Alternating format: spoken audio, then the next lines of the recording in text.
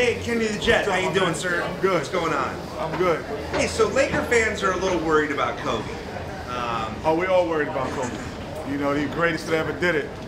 It looks like just a regular guy out there. You know, we hate to see that. so, is it time for him to hang it up? I would give him, uh, you know, I would say about in the 30 games we're gonna figure him out. But right now, he look like Kobe Bryant. He don't look like the Black Mamba. He look Right. like Kobe. What, what do you think the problem is? Father Time catches us all, baby. There's no, you can't, you can't, you can't escape Father Time. So, will he make it to the end of the end of the Oh, he'll season? make it if no, injury free, but will he be the Black Mamba or he will be Kobe Bryant?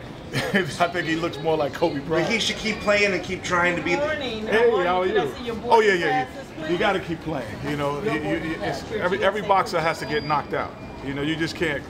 It just doesn't happen. So once he gets knocked out, he realizes it's over. Is this his, is this his last season? His his farewell song?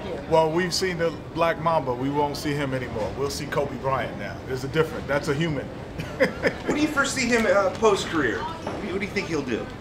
Well, I know he has, doesn't he have like that the energy or the water drink or the energy drink, and then uh, we got to see before you Kobe on TNT, and it, and it, it'll be ready in April because y'all won't make the playoffs, so it'll be ready for you.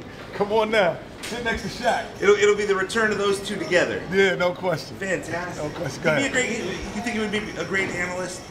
Oh yeah, he'd be great. He'll be great. I mean, could you imagine him sitting next to Shaq with us, telling Amazing. Lakers stories, why they hated each other, why they loved each other? Wow. Oh man, we, we, the job's for yours, Kobe. I'm holding the seat for you. Fantastic. Thanks, Kenny. No problem. All the best. All right.